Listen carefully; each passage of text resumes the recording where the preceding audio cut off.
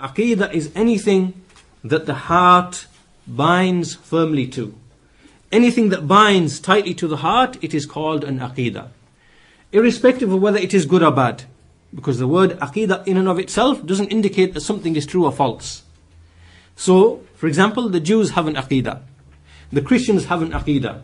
The Buddhists have an aqidah. The atheists and materialists, they have an aqidah. Aqidah simply means anything that is bound and tied to the heart.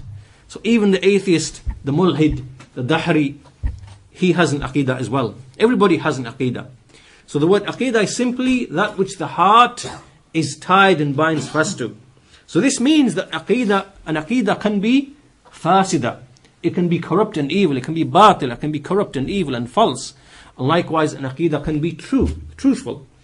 And so, for this reason, we, we, what we are interested in is what is the sound, correct, Sunni, Salafi, Athari, Aqidah that the deen of Islam, that the, the, the, the, the Sahaba were upon, and the, the scholars of Islam were upon.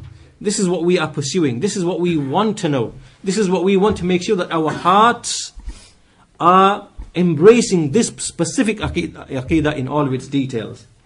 And anyone who turns away from this, then this person is upon khurafa, he's upon deviation, and he's upon bid'ah and dalala. And so therefore the goal of every single Muslim is that he should be asking, what was it that the Sahaba believed? What was it that the Imams were upon?